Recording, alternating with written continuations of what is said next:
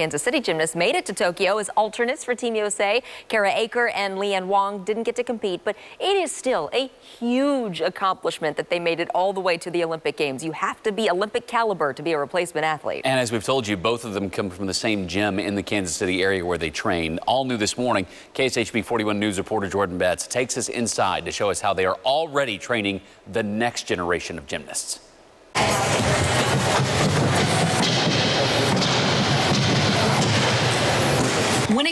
Building gymnasts into Olympians at Gage,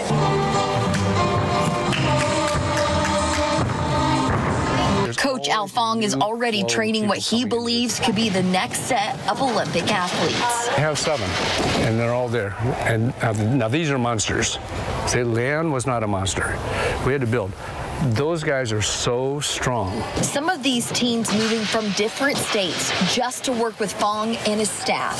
They're from Texas, uh, then there's Iowa, then there's uh, Nebraska. The other kids are homegrown. There's uh, Idaho, there's people from California. But whatever they're doing, it's paying off as the gym has sent several women to the games. Fong comparing this group to this year's Olympic gymnastics alternates, Kara Eaker and Leanne Wong. Their skill level is twice as good the same time of last year's quadrennium for these girls twice the level. So I'm excited by that. This Blue Springs coach says these up and coming gymnasts have watched athletes become Olympians. So with having that front row ticket, they see what it takes to get to the top, and that's what's driving them to be the best. And everything that they learned, these these girls pick up.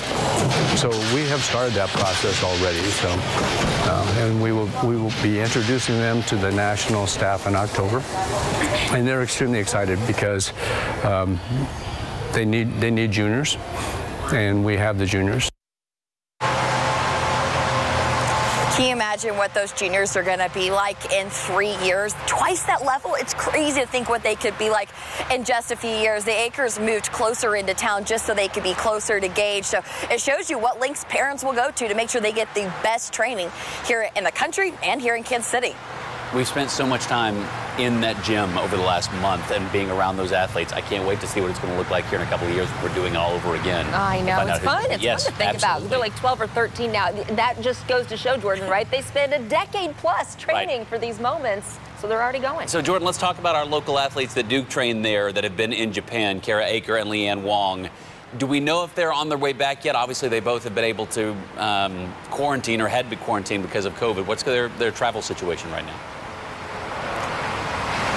Yeah, according to Instagram, which sometimes can be such a great resource, we believe that they are on their way back. Uh, yesterday, Leanne posted on her story that she had landed back in the United States, so hopefully she is at home this morning. And then Kara posting to Instagram, and I love this caption. It says, It's been fun, Japan, but I'm ready to go home. Now, Kara tested yeah. positive for COVID 19 while in Japan.